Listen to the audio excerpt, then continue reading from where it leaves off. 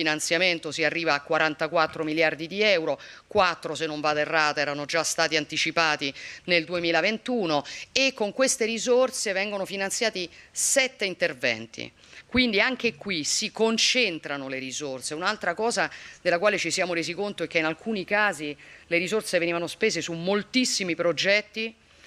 che alla fine lasciavano un impatto molto limitato. Quindi noi abbiamo cercato e cerchiamo sempre di concentrarci su alcune priorità e qui le priorità sono, eh, come si è detto, sicuramente il tema del diritto allo studio, sicuramente la questione della transizione energetica e quindi lo studentato universitario eh, a Palazzo Cogne eh, qui ad Aosta, strumento per difendere il diritto allo studio ma anche per rendere eh, l'Ateneo più attrattivo, no? perché e con gli strumenti che si mettono a disposizione si può fare un lavoro importante anche per la collocazione diciamo, no, eh, eh, di, di